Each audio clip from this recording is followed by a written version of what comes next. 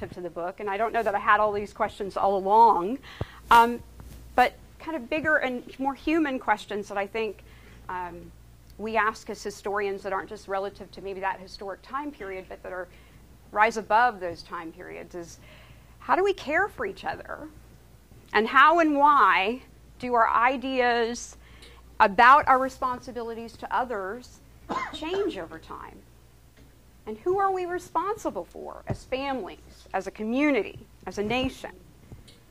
And of course, in this moment between 1820 and 1827, when the Cherokee Constitution comes into being, how did establishing a, a, a more formal nation, centralized nation, change people's ideas about care?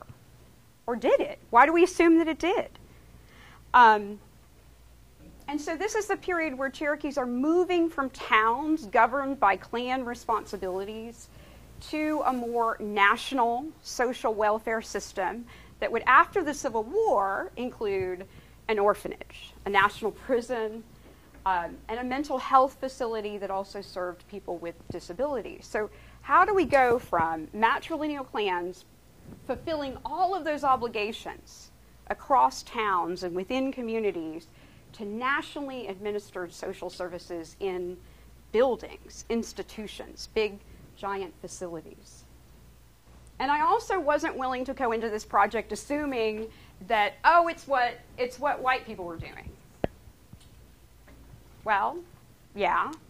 But why, did we, why should we assume that Cherokees are not doing it their own way? Cherokees have always kind of utilize these other tools that are out there in order to make adaptations within the community to better suit their needs. So how, how, what are the adaptations that are happening? Why should we assume that these are just replications of what's happening in the larger United States at the time? So one of the ways that you know that I came to answer this question kind of early on relative to the orphanage itself, because that was the first institution I, I started studying, was Walter Adair Duncan and some of you may have come across him. He's sometimes listed as W.A. Duncan, he's sometimes listed as Watt Duncan. Um, he's listed in a variety of ways, um, but he's often not the main character in any of the, any of the, the documents or the, the readings that I uh, read through on a regular basis. And Walter Adair Duncan is an interesting um, case because he's born around 1823. We don't know the year he was uh, officially born, um, his father has a clan. His grandmother has a clan. But his father marries a um, white woman from South Carolina. So Walter Adair Duncan is the first generation within his family to not have a clan. And of course, if we think about that year, removal pressures are amping up. The 1817 and 1819 treaties have just taken place, so there's already been some, some Western movement of Cherokee people of their own volition out here. There's also people in those treaties taking um, individual land reserves that, in theory, allowed them to become state citizens in Tennessee, in Georgia, um, in North Carolina. And and he's, so he's born at a moment when social welfare norms are also shifting within the Cherokee Nation. Well, Walter Adair Duncan, as I just mentioned, these 1817, 1919 treaties, his family takes one of these reserves in Georgia. And so you know, I had to kind of play this question out with myself. Why? Why did his family take this reserve? Why? I mean, these are people who, um, who, who are definitely attending Christian churches and they're definitely English speaking. Um, but on the other hand, there's a whole slew of daughters in this family too. There's actually some older daughters. And this is a moment when, in the larger United States, and particularly in, in Georgia, Tennessee being two examples, um, women couldn't own property after they were married. Their husbands got control of that property. So, if we're thinking about a, a matrilineal community where women had a lot of economic power and were able to keep control over their property, to, to become a citizen of these states really put your daughters in a very vulnerable economic position. Okay, so why? Why make this decision? Well, at that 1823, when Walter Adair Duncan's born, Walter Adair Duncan wasn't a Cherokee. Wasn't born a Cherokee. But in 1825, the council passes a law that says that men who marry non Cherokee women, their children can become citizens of the nation. So when he's roughly two years old, Walter Adair Duncan becomes a Cherokee Nation citizen. Well, for the vast majority of Cherokee people, they still have matrilineal clans. They still have a social welfare system, a rich, long social welfare system that's already in place. But what happens for these new citizens who don't have a social welfare system available to them through clans and kinship obligations? So the Duncan family moves back into the nation after they lose their land in Georgia. They all move back into the nation. Um, Walter Adair Duncan's grandmother dies at some point before removal.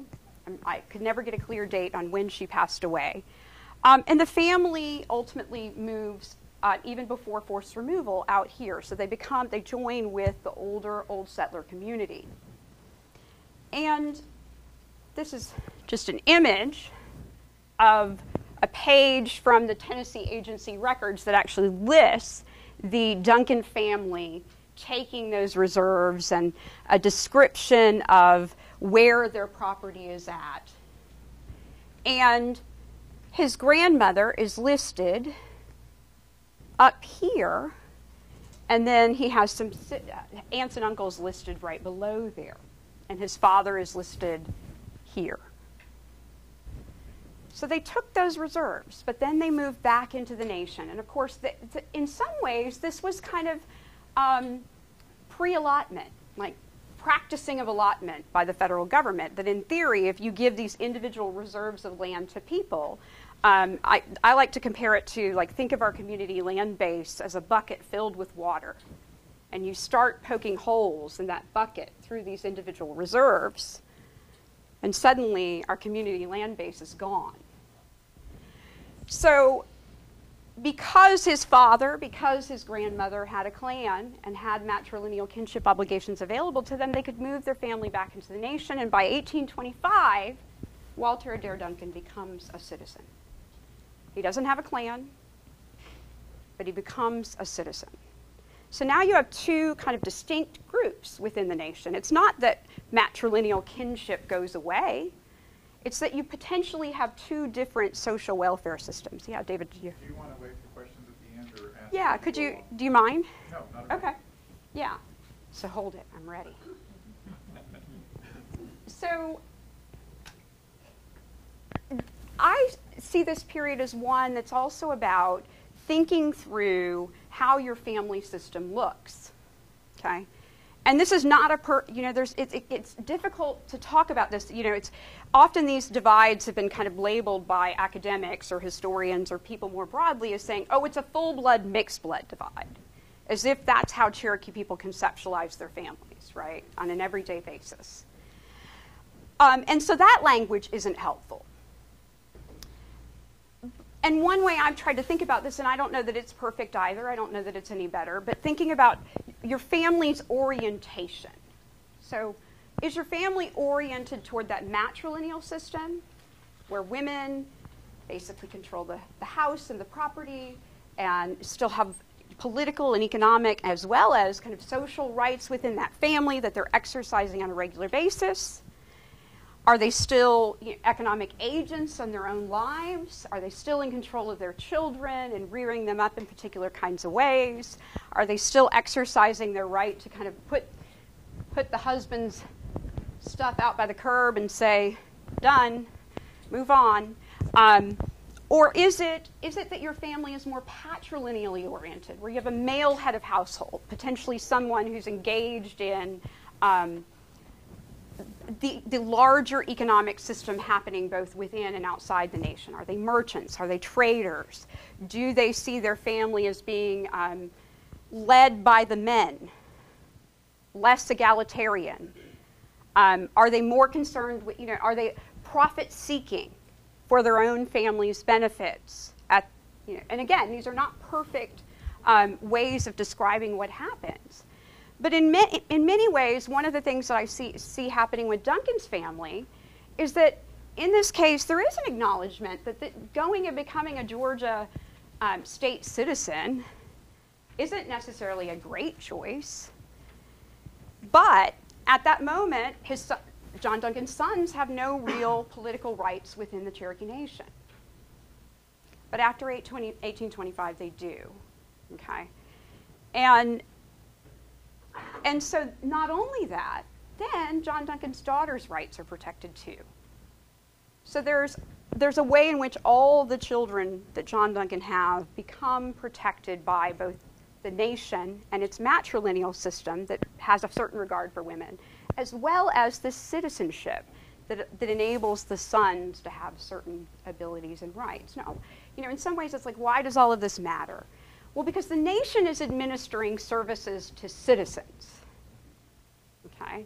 And, and so they're conceptualizing citizenship at this point. So the idea is that in some ways, people that are receiving things from the nation, um, you know, may or may not have clans at this point.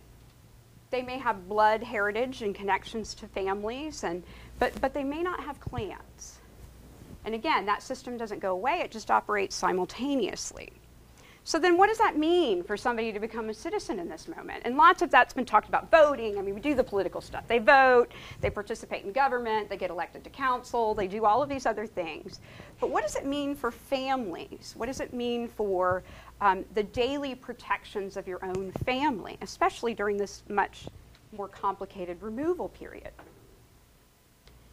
So, I'm going to skip that one you know, some of the ways I've kind of thought about all of these things that are happening during the removal period is not through what's happening to the nation. I mean, that's been done. We know what's happening to the nation. We know the, the arguments that are being waged in the courts. We know all of these things are happening. Um, and I kind of rethought about the corn tassel case in particular. The corn tassel case was supposed to be the first test case was supposed to be the first case to test whether, in fact, the Cherokee Nation had sovereign control of its territory. And Corn Tassel had, had been accused of murdering another Cherokee within the boundaries of the Cherokee Nation. And Georgia said, no, we're going to assert our rights to this case because these are people living within the boundaries of what Georgia claims. So there's an argument between the Cherokee Nation and Georgia over who has jurisdiction in this case. So, in, so Corn Tassel was um, found guilty of murder within Georgia. He was sentenced to a, a new Milledgeville prison. Um, the governor controlled the prison at that point, and the Corn Tassel case is moving toward the Supreme Court. The Supreme Court had issued a writ to actually hear the case. And Georgia, worried about the outcome of that case, expedites his execution. So once Corn Tassel's dead, there is no case. And that's always been talked about relative to um, politics or law. And I just kept thinking, what does that mean for Cherokee people? What does that mean that you know you're being you're being told that you're going to be a, uh, taken into this country, this larger United States, and granted you than his victim's family, but what does this mean that the Supreme Court is not going to be able to aid you in any way? Just on the ground families. And then you add to that the daily kind of traumas that Cherokee families are experiencing with theft of cattle, with beatings, with just kind of general intimidation. And I'm thinking Cherokee people who, at this moment, particularly clan members, you know, who don't necessarily need the nation because they've got a flourishing um, kinship system. Why the nation?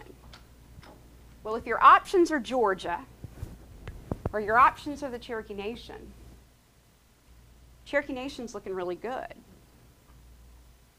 So, all of these events we have to rethink through the view of families and how people are experiencing these on the ground, not just what the politics of the law means. Ways John does during this period family but no kin, traditional social welfare. At the same time, they're citizens, and they wind up becoming this old settler family. Uh, around 1834, they come this way. And then Walter Adair Duncan was 15 and thinking about the impact on a 15 year old young man as he's witness to forced removal. And I think, again, we often get caught up on um, in arguing about, well, what was going to happen with removal, but in fact, people on the ground are, are witnesses to this tragedy, particularly those old settlers who were already here. So, what kind of impression does that make on him? And you know, and then the question comes, what you know, what social services develop after this period? So, in the uh, immediate post-removal period, um, there was no orphanage. Why not? Th- why not then? Why didn't they establish some of these services then? In the immediate post-removal period, there were lots of orphans. There were lots of kids um, who had lost family members. Everybody lost somebody during removal. So why not then? Well, they set up a system of foster care, so to speak. And one of the things that the Cherokee Nations Treaty, 1835 Treaty, included was really exceptionally generous provisions for poor indigent Cherokees, for orphans, for anyone in need. In fact, our looked at the five tribes social service provisions in our treaty. I Know that in this post-removal period, um, it's not that everybody's getting along. So you're not going to set up a jail during a moment when one group is feeling like they are being attacked by another group and they don't trust that the government's going to be fair and just in its administration of justice. So you're certainly not going to set up a prison because you could find yourself sitting in it over political arguments, not crime necessarily. So the prison is out of the question. It's proposed John Ross wants it in that post removal period, but he's not going to get it. Okay? And that we think about removal, you're talking about an event that um, harmed everybody, but that was collectively felt. So everyone in that period after removal, you can read these counts, the post removal of families kind of, you know, we read about the violence, but they're also there, families supporting each other as they rebuilt. And so it made perfect sense that you would take in a child who had come with your particular regiment and immediately take them in in ways that matter. And lots of families are moved together. So if you have matrilineal cl- clan members, they're obligated. You're not even an orphan because if you have an aunt, you have a mother. So this whole concept of orphans for many Cherokee people is still a foreign concept in the practical and the everyday. So what the, what the nation did do was it set up a system that said if a child is in, placed in a home, close proximity to school, they get access to education, and that family also got a financial payment to help support that child. And so at this point, they kind of continued the old period of guarding prisoners and or kind of expedient punishment. So lashes right away, you're out of here. Execution in the local communities, we're done. And it was very quick and quite expedient and yet at the same time is happening during this more politically volatile moment. People are not thinking disability in the same way that we think about them today. Is that there were eccentric people didn't necessarily mean mental illness. You know, so people who were oddities in the community to them, because that's a part of what you do. You adapt to difference in your community because you're you're bound through um, community ob- obligations to do that you're bound to support your family member who might have a physical limitation because it's a reflection on your failure as a community member to care for them, not a reflection on them of having this particular disability somehow needing to be dealt with, okay, or medicalized, that it's the community's responsibility. So there's no institutions during this period except the public schools. And, and, and, but those are slightly in a different category. So one of the things that I was interested in is also how did Cherokee people respond to these institutions? So were, were we arguing with each other over what happened at these institutions? Um, And in, in many ways, I see the institutions, what came, became clear is that we felt better about some institutions than we felt about others. So my last line says, kind of imagine a continuum of the like loved institution and the reviled institution. Okay? The orphanage is lar- largely an institution that people understood and embraced. So a lot of the um, a lot of the pre-removal education had been administered through mission schools. Um, we had we had uh, set up the seminaries in the post-removal period. Um, so there was a kind of a knowledge of institutions within the community. So institutions are not necessarily foreign or odd and institutions that catered to kids were not necessarily foreign or odd.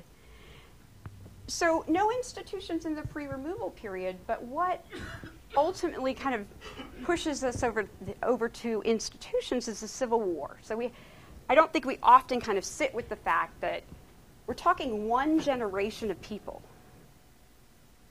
from removal to the Civil War. I mean, two major demographic disasters in one generation.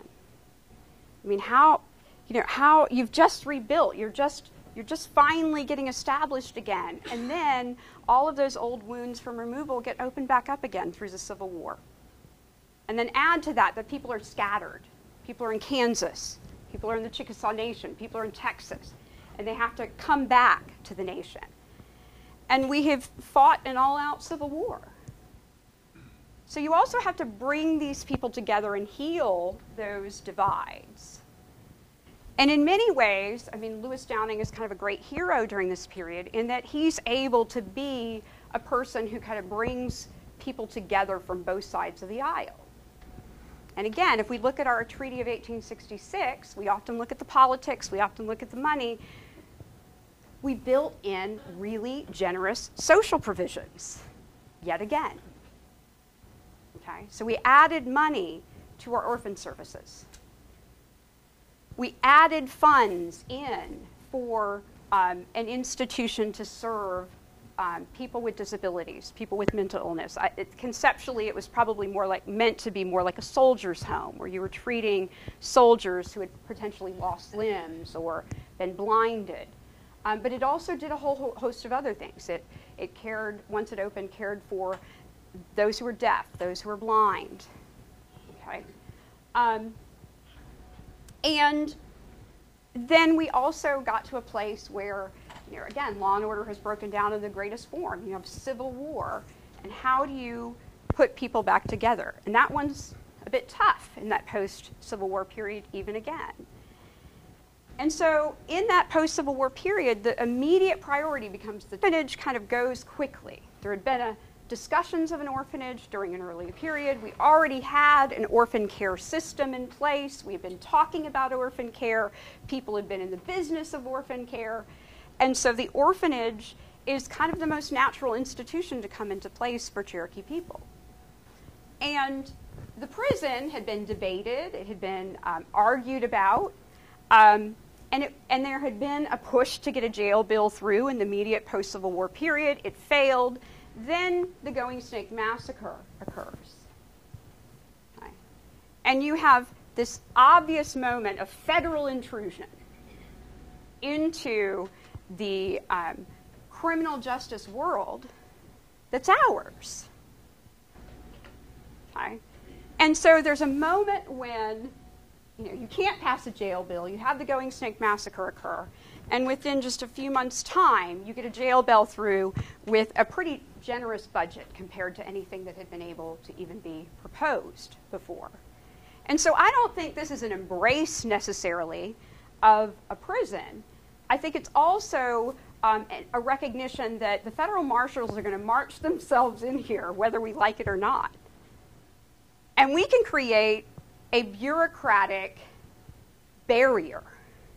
So a lot of our a lot of the people that are going to be charged with crimes are potentially going to be charged with crimes within the nation, but they may have also committed some law that falls under federal jurisdiction.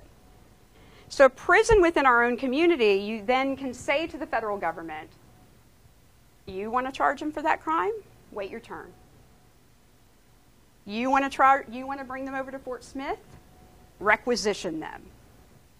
Okay? So it's I mean, we don't think of institutions as these barriers, but it becomes a sovereign barrier to outside intrusion. And it's also a way of saying, we're taking care of our business. What are you doing over there at Fort Smith? Step it up. Yeah. We'll take care of ours, you take care of yours. Okay? And so the prison is one of those that people kind of see as a necessary evil in that post Civil War period. And of course, what are the accusations being thrown at Indian Territory in the post Civil War period? It's lawless, it's cr- harboring criminals, okay? it's wild Indians. So if you can say, look, we've got a prison, we've got a police force, we've got a, a, a pretty intricate court system, then in fact those accusations break down. Okay? And then the asylum is, is to some extent perhaps the, the trickiest institution. The, the, um, the full name of the asylum that's most often referred to, although it went through variations, was the Asylum for the Deaf, Dumb, Blind, and Insane. Okay? Obviously, we don't use those terms anymore um, to talk about um, people with disabilities in the same way. But that institution hadn't been talked about, hadn't been debated, hadn't been discussed, and it was this catch all institution. And so, if we're thinking about that continuum, it was the one that Cherokee people were the most uncomfortable with overall. So, these institutions, and I've included some of the pictures that, that, that are in the book. This is Walter Adair Duncan with some of the teaching staff. And just, you know, we can make some observations about some of what these institutions are doing. There's job creation. And we can look at this picture and go, huh, who is getting jobs as a result of these institutions? Well, there's Walter Adair Duncan, but there are jobs being created for women. And so there are in, these institutions, regardless of which one they are, are creating jobs for Cherokee people. In a period when economic recovery needs to happen after the war, people need to know that they have a place to contribute. And the other thing that the orphanage does, and this is from this is from 1886, 87. This is our the kindergarten class, and I love this image because you know we get caught up on thinking about what Cherokee people look like, right? You know, I mean, this is the conversation that lots of people outside the community assume, like the high cheekbones, that makes me this or that. And, and then, of course, you look at a picture like this and go, look at what our people look like in 1886 and 1887. I mean, look at what our children look like in 1886 and 1887. And in this picture, there are more than likely some monolingual Cherokee speakers. There are more than likely some bilingual English and Cherokee speakers. There are more than likely some monolingual English speakers. And so at this institution, in this post Civil War period, you have an opportunity to bring kids together who lingually may be in very different places, whose families politically might have been in very different places. But the next generation gets to forge relationships with one another through these institutions. So if we're thinking about reconciliation and unification, our children are doing some of that work at the asylum. And they did. They formed relationships, they got married, they, you know, they stayed friends for a long time. You know, it could have been the first time for some of these English speakers that they're around Cherokee speakers all the time. Could have been the first time some of these monolingual Cherokee speakers were around English speakers all the time. And in contrast to the boarding schools, which will opened later than our orphanage, Cherokee language was the, was the language of the home, and this was a home. Nobody, nobody, the language never, there's no sign that it ever got rooted out. But English was the language of the school. But there's also instances of kids using the Cherokee language at the school. So it's a contrast to that boarding school experience that many of our children were, um, were potentially exposed to if we didn't have an orphanage within the nation either. Now, the National Prison, eh, it's a pretty, it's a pretty manly space. There are very few instances of women showing up in the prison. Um, and at the same time, it's also a space where there's lots of lingual diversity. So I had my students this past semester, because I'll come back to this, but the final prisoners, there were 18 final prisoners that had to be, um, they had to figure out what to do with them at the time of allotment. And I had my students go back and do some research on them. And come to find out, we have a Creek Cherokee speaker, we have a Creek or a Cherokee Shawnee speaker, we had some monolingual, monolingual English speakers in the prison. We had some monolingual Cherokee speakers in the prison. That it's a really lingually diverse place, too. And that the guards in those prisons are, are go betweens between all of these communities. So, very often, guards were, were, some of them were monolingual in Cherokee, but many of them were bilingual. So, they were acting as intermediaries in, in many ways between um, the languages, even of the prison. And this picture I love, I only just found out this past Saturday. I didn't realize this when I wrote the book, and I was like, man, I wish I had known that when I wrote the book. So this is pretty late. This is right around the time of, of, of closure of the prison. And I kept, I saw, so you can see the child here, and there's a child over here, and another child. That, that you have children in the picture. So one of the conclusions that I came to too is that Cherokee people um, understood at that time the, the fine line they walked between criminal and law abiding. Sam Sixkiller, first High Sheriff of the Cherokee Nation, is ultimately um, brought up on murder charges, loses his job. Um, eventually, he's cleared of all those charges. But our lawmen walked a fine line between prisoner and law upholder. Okay? And so, if our own lawmen kind of walk that fine line, imagine the, the fine line everyday people without a national title walked relative to crime. So, there was a recognition by Cherokee people that we're obligated to people even when they've done something, they've fallen off the, the straight and narrow, they've veered off course. They're going to come back to our community and we're obligated to them. And so you get accounts in the, WPI, the WPA Indian Pioneer Papers of people housing prisoners in their home, but also opening up their home to people running from the law. Because community ethics says you're obligated to all of them. Didn't harm you. So, sure, come on in, have a meal. I know you're wanted. Sure, come on in, have a meal. You're, you're taking these prison, prisoners over to Fort Smith. That those community obligations rose above it. But ultimately, these people were coming back to our community, and we were obligated to them. And so there's a comfort by John Duncan, not Walter Adair Duncan's father. Walter Adair Duncan's son, who's the last High Sheriff of the Cherokee Nation, feels perfectly comfortable with his children in this picture. Doesn't feel like he needs to protect his children from these prisoners because they're also members of the community just like his children. So there's another picture of the prison when it had its additional floor. That fence was a constant source of economic. That fence had to be repaired every year. Okay.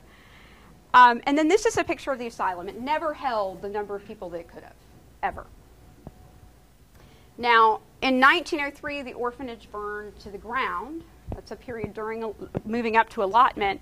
And so what they did was they retrofitted this institution and moved all of our orphans into that building at the time of allotment. And that's, of course, our Park Hill site where Sequoyah Schools is today. So, one thing I always like to remind everyone I talk to is that our orphanage has operated in perpetuity since 1872. Now, we didn't control it during that whole period. But it's operated in perpetuity since 1872. Okay? Which is, you know, a point I like to make too, because these institutions, in terms of what they also did, is at the time of allotment, they became negotiation tools. We have all this care for our citizens. there's a hearing before Oklahoma, you know you're going to have to give up your institutions. You're going to have to give up your, um, your blind institute. You're going to have to give up your seminaries. And an Oklahoma official says, well, we don't have any of those things. And you can only imagine that Cherokee folks were sitting there going, huh, we have to give those up. Okay? So there's a massive redistribution of our institutions to o- the state of Oklahoma at the time of allotment, but they were also negotiating tools. We have care. They negotiated care for all of the patients still at the asylum. That Oklahoma had to continue to take care of those individuals and provide care for them. Um, and so, th- one thing I will say about the asylum is that in the early years, it was mostly blind patients. Over time, that changed. Over time, there were more criminally insane or people who were loosely being de- designated um, criminally insane. Um, family members pulled their, their family members out because of certain concerns about the facility. And some of that is tied to the medicalization that's happening, but some of it I think is tied to tensions over allotment too. That at the same time, the medical profession is um, is professionalizing and centralizing and doing all of these things that are that are saying we need to separate um, spirit and religion and cosmology, and this is true in the larger United States too. That that medical care needs to be about science. Okay, and for Cherokee people, that becomes a little uneasy, and it's happening at the same moment that there are tensions over the loss of the communal land base. So the anxieties are even higher during this period. And so the, the turning over a lot of authority and control to medical superintendents, this particularly happened at the asylum. And the medical superintendent, sometimes they were not Cherokees, but some of them were, um, increasingly wanted a more tightly controlled institution. So in its early years, the steward had more control. Over time, the medical superintendent offers far more kind of authority and power. And they start enforcing um, visiting hours. And they put out uh, comments in the paper that we don't want people just visiting and lounging around the asylum. Well, if your family member's in one of these institutions, or they're your community member, you're going to go visit them. So they put the patients more on lockdown. So one of the great stories that I, I love that I came across very early in my research is that in the very earliest years, there was a, a, a, a close association formed between, Sasa and Creek Killer. And I'm going to get the reverse. One of them is blind, one of them is deaf, but they form a cooperative association to go visit the seminarians. And so they traverse and they head over to the seminaries and visit, and then the seminary students are coming to the asylum to visit, and there's a lot of back and forth between the institutions. There's accounts of, of asylum residents showing up at the National Council, wreaking a little bit of havoc, but showing up at the National Council, voicing their concerns. And that starts to tighten. And families don't respond well to that. This is a community institution. And you tighten control over it, and you tell us we can't have access to our family members, then we're not we're not going to support that institution. And so people began to kind of not send their family members over time. Part of what happens too is that once the Fort Gibson School for the Blind opens, there's another option for those blind family members that had been at that institution earlier. So the other piece of this is that the asylum has a medical superintendent, so there are people who are seeing this institution as a hospital. And so you start to see more chronically ill patients at the asylum. So it's, it's, and this is a moment when, you know, again, people are anxious about their care, anxious about the, the health and well being of their family members, at the same time that they're being told they're about to lose their land base. So those are all of our institutions, and I want to, you know, say some final things just about the institutions more broadly. That, you know, in one way, they, they brought together really different Cherokee people who forged new kinds of relationships. And um, you know, th- this may be me stepping on a slight soapbox relative to our larger world we're in right now, where we have a lot of trouble talking to people who perhaps take positions that are not our own.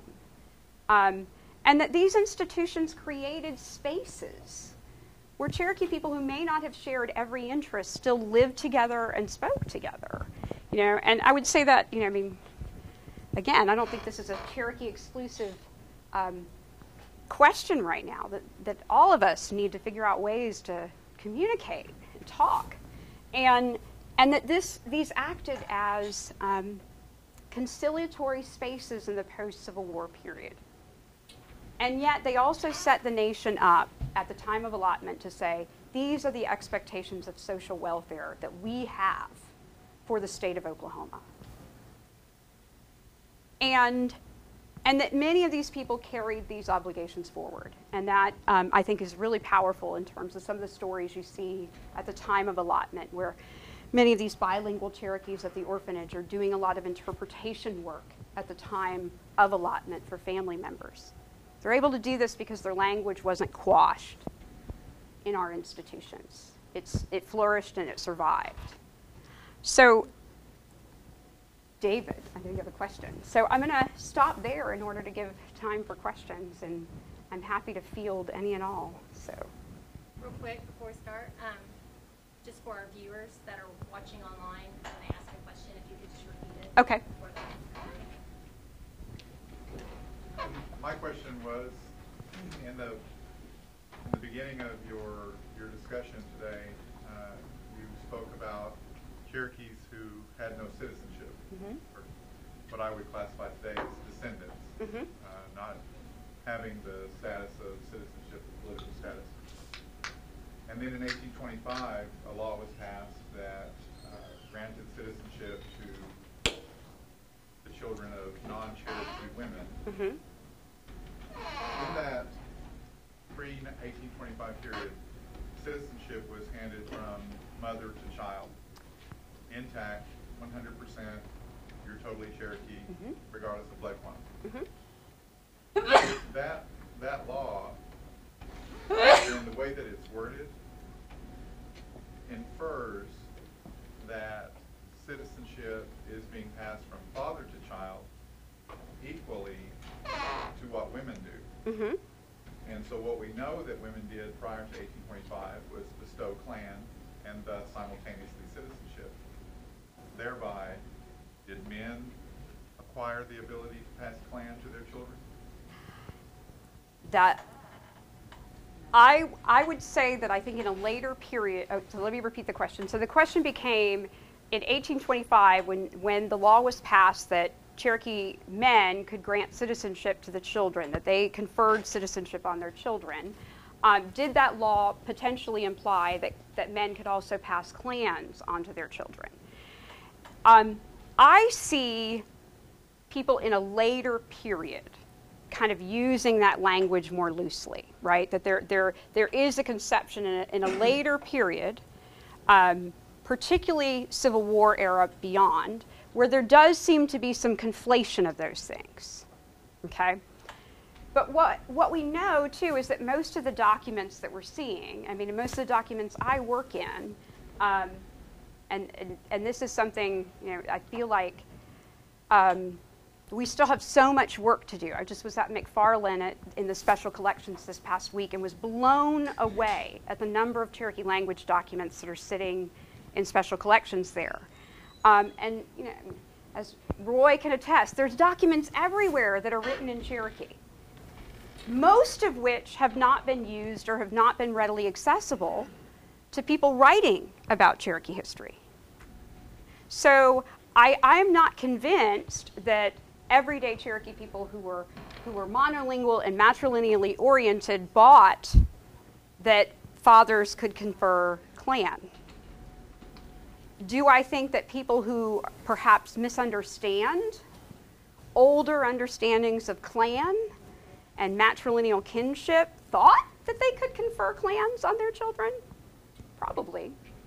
If, if clan and citizenship were synonymous, I don't see them as you synonymous. don't see them as synon- synonymous with each other? No.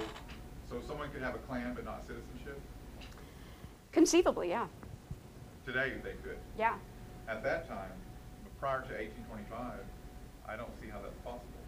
Well, prior to 1825, they would have only had clans.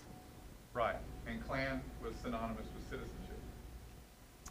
Different kinds of, you know, I mean, so we're talking about two different political systems too. Yeah, yeah. I mean that that both. You know, I mean, we have to think about the fact that, you know, certainly I think there were lots of Cherokee people at the time that that law was passed, who had clans, who who were obligated to matrilineal clans, who understood those obligations, recognized the the um, the tool of the nation, right, against removal, against the threats of the United States, and they're willing to go along with that. Okay? They're willing to participate in both of those systems. It doesn't necessarily undo matrilineal um, kinship and clan obligations. Okay? Um, but it does add another layer of protection for people that are both matrilineal clan members and people who are citizens. That there are certain protections that both of those afford. Um, and I think over time that shifts a little bit in that there are, there are more and more people with notions of citizenship with less understanding of matrilineal kinship obligations. And so, one thing I would say about Walter Adair Duncan that kind of complicates this in many ways is that Walter Adair Duncan, as I said, wasn't born a Cherokee, he didn't have a clan. He becomes a citizen, okay? At the time of allotment, he is one of the fiercest opponents of allotment. And most of his arguments are about social welfare. He's, he's, he's telling the U.S. that it's based on greed, that there are homeless people throughout the United States. And how dare the United States invite people into that system where, and kind of a paraphrasing of that quote is, where most people don't have a plot of land to be buried on. And that's not true in the Cherokee Nation with a communal land base. And so he's attacking the social welfare system that, that Cherokee people are kind of forcibly being pushed into. And he's doing that partly because of the Friends of the Indians um, who are arguing that we're, we need help with our social welfare system. But Walter Adair Duncan, there's a great story I kind of end with relative to him. When he walks into the allotment office, all these younger men tell him to take his hat off and he, he says, You come tell me to, you come make me take my hat off. He has no respect for this process. He challenges a boundary line. He knows there's a boundary line that, that's wrong, that they've done a boundary long, line wrong. So he attempts to take his allotment on that boundary line to force the question. Okay? That this is somebody who is going to, who uses these administrative, bureaucratic systems to fight other kinds of bureaucratic administrative systems. And so I would say at the end of Walter Adair Duncan's life, he may not, um, he may not have, have been born with a clan, but he understood what it meant to be Cherokee, and he understood the power of a communal land base, and he understood the power. He was educated in the nation, not in the schools. He was educated in the nation by Cherokee people by people who understood community ethics, by people who understood that older social welfare system. And so he was able to, defend and talk about both systems, even though when he was born, he wasn't a member of that other system. He was a citizen. But he got an education throughout his life. And I think that, that, that, that many people did. And so the question becomes what happens when you lose that, that community education that is not happening in schools? It's happening by being a member of a community, by understanding the values of that community. And I don't have all, Walter Duncan is one example. I don't, I don't pretend to say that he is representative of everybody, but I think he's one example. Yeah.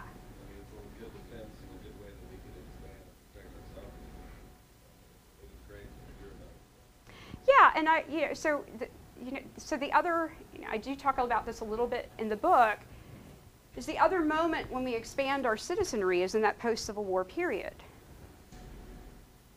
Now, our citizenry stretches to former Cherokee freedmen. Okay, and so one of the ways that I perhaps, um, you know, maybe I mean, I, Walter Adair Duncan is my historic boyfriend, but occasionally we have arguments. Okay, and and one of the arguments that I have with him is that in this post Civil War period, and there's no smoking gun to indict him, but he's the, he's the superintendent of the orphanage, and freedmen are desperately trying to get access to the orphanage for their children. Okay? And freedmen are all over the political spectrum more broadly in this period. But one of the things that kind of collectively came together on is we need a facility for our children too. And there were, there were pragmatic arguments made that there wasn't enough space, and that was true. Orphanage was always filled. That, you know, then they squared off over whose responsibility it was to set up the budget.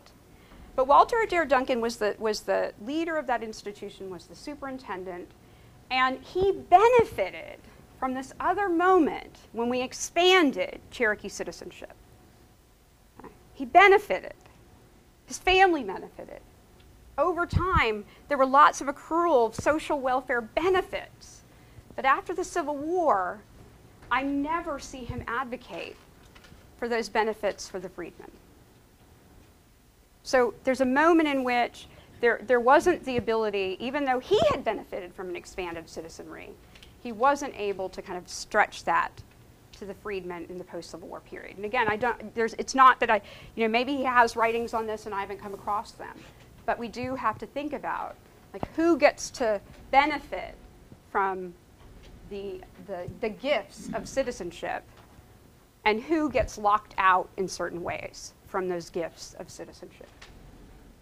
And, you know, I, I think we have to wrestle with that. Because there's a lot of people who benefited from citizenship, but who did not see that they should extend those benefits to others in that post Civil War period. Yes? You talked about the liberal terms of the removal treaty. Uh huh. Are we talking about the Treaty of Minnesota? We are. So the illegal, even immoral treaty that had liberal terms in it for removal.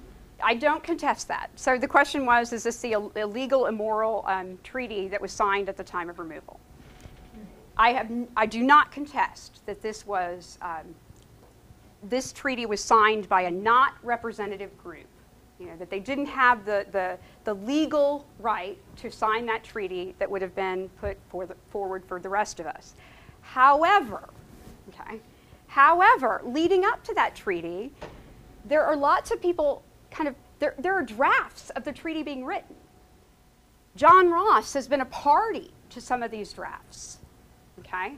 Now, this is also, I mean, John Ross at one point says to the federal government, give us 20 million. 20 million. Okay? Which I think is a strategy. He knows he's never going to get 20 million. Okay? But he's slowing down the process because if you out threw out 20 million, they've got to come back with another offer. Okay? However, they're, i- they're also giving the impression that, like, we're, we're talking about this process, we're thinking through it, we're figuring it out. They're biding their time. The other, the other nations are writing treaties, they're looking at those treaties. And so, the, even an earlier version of Echota, that, that Ridge and Boudinot wouldn't sign on to it because they said it didn't have enough social welfare provisions. So we have to think that this is a period, I mean, we think about the New Echota Treaty as being this one thing, but in fact, we're talking about a longer period of time where there's lots of strategies playing out. And so, relative to the other tribes, we had the most favorable social provisions. So, yes, con- illegal. However, you know, adding some caveats about that.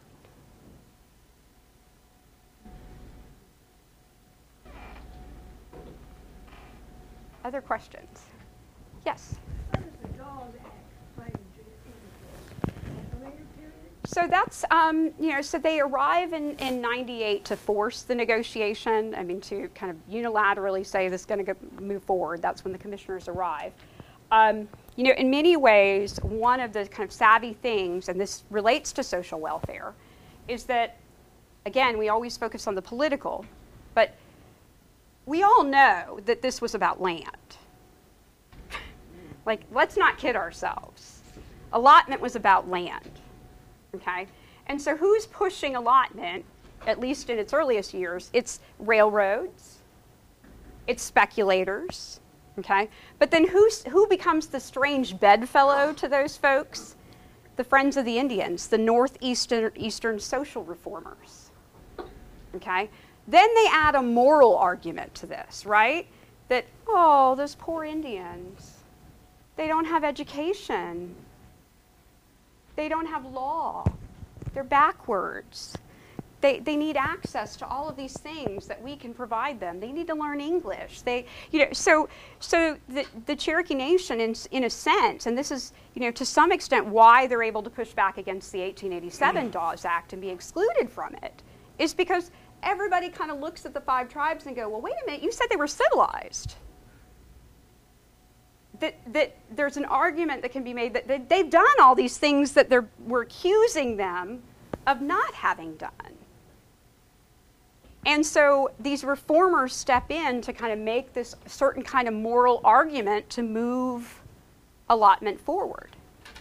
And there's a period like Pratt is a prime example. Opens Carlisle. He he took all the uh, prisoners from Fort Sill down to St. Augustine.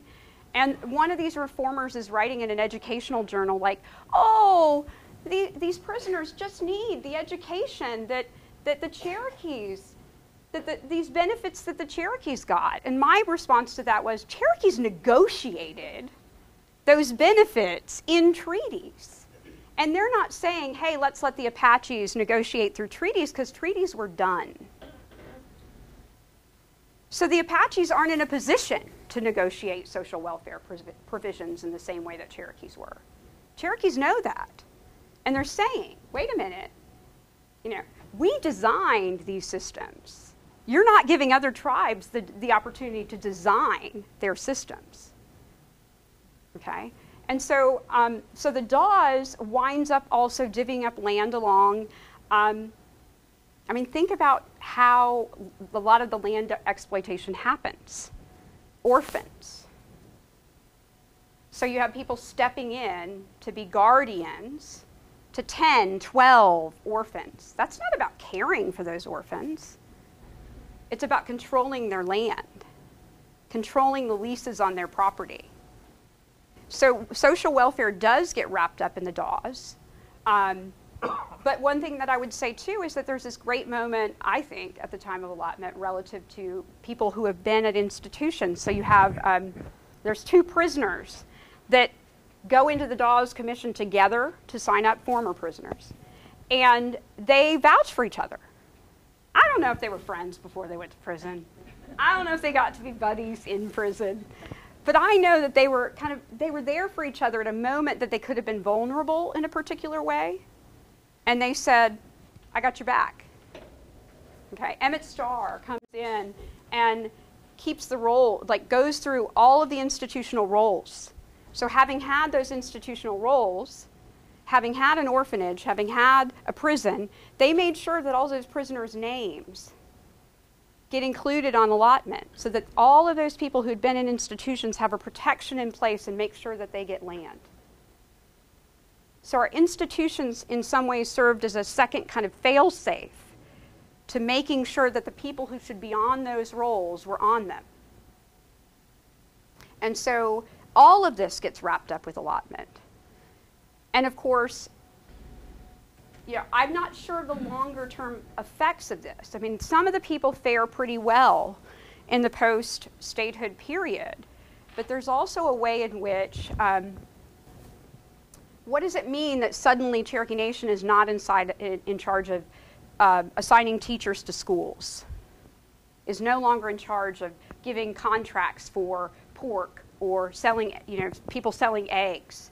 that there's an economic loss potentially in play if now you're beholden to um, non Indians who don't necessarily have great attitudes about Indian people.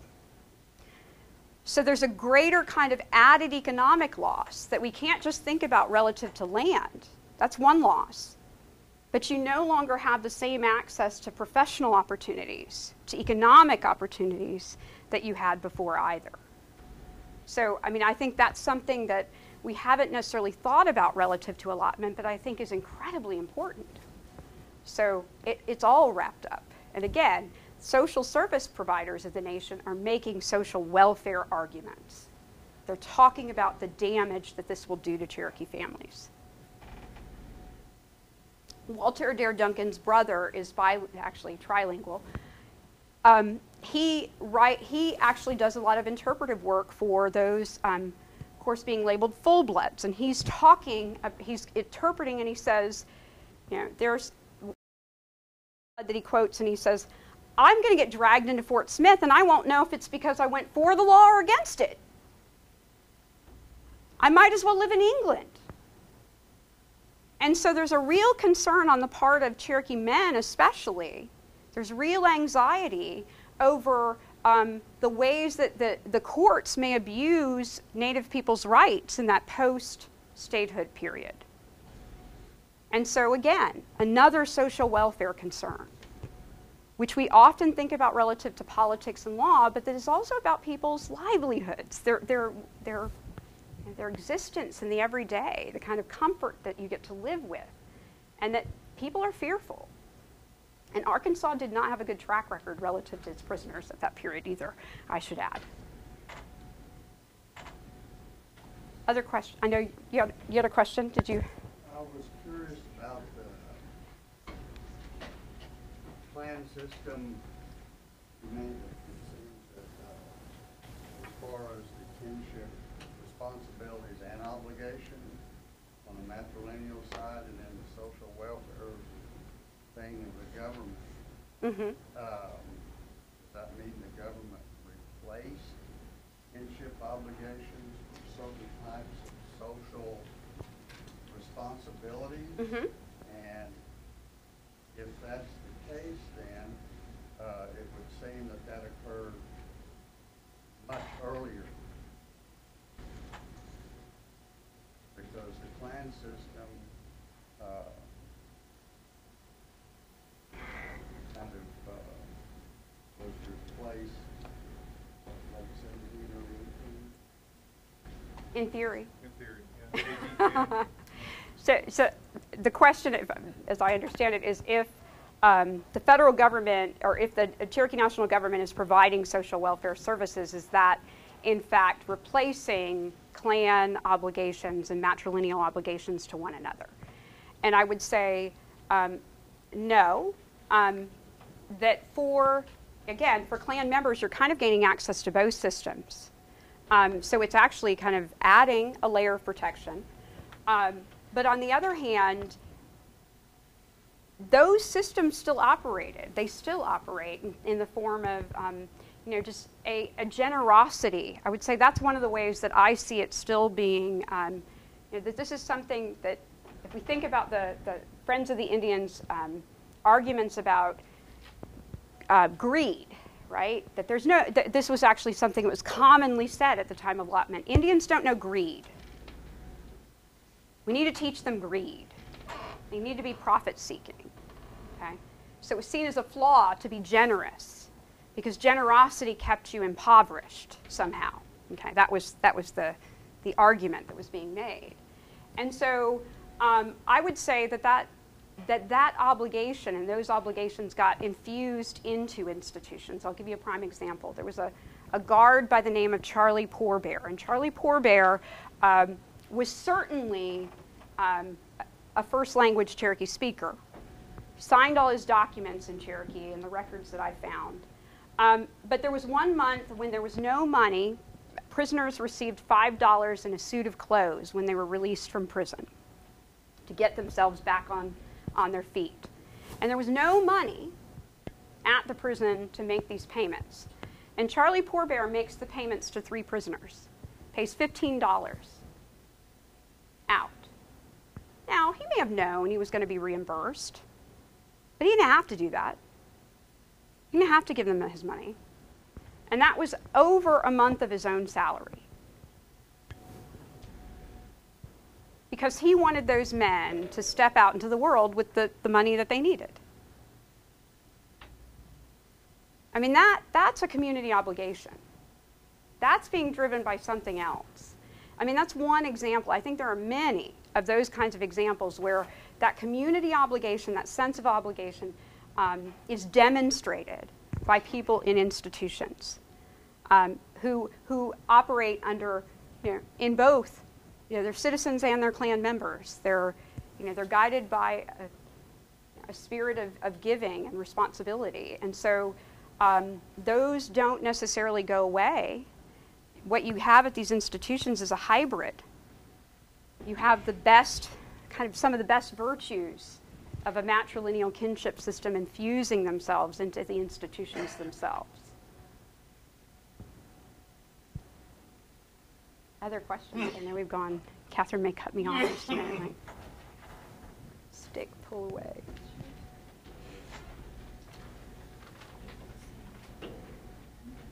Well, thank you. Yeah. Thank you for indulging me.